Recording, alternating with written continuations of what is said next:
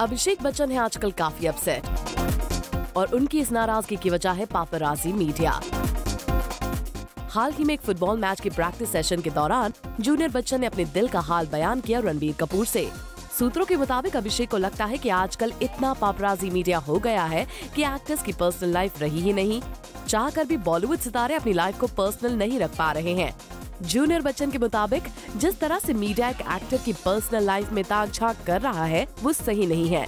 सूत्रों की माने तो अभिषेक की इन बातों से रणबीर भी सहमत दिखाई दिए। और अभिषेक सिंह जूम मोबाइल